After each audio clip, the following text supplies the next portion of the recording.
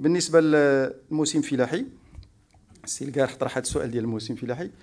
موسم فلاحي الحمد لله بفضل هذه الأمطار الأخيرة يسير بشكل جيد.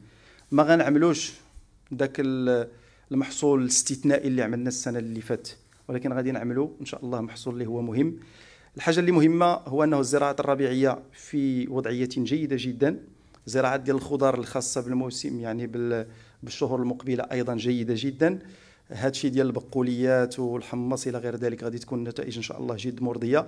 واللي مهم هو أنه غادي تكون واحد المساهمة كبيرة ديال القطاع ديال تربية المواشي. واللي بالمناسبة هو المشغل رقم واحد في القطاع الفلاحي.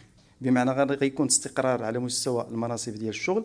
المجهود اللي عملت الحكومة من خلال البرنامج الاستعجالي اللي كان فيه واحد الجزء ديال لي زاليمون كومبوزي الموجه للمنتجي الحليب بالإضافة لهذه المرحلة اللي كتسمى la période de soudure ديال ديال هاد هاد هاد الشتاء اللي جات.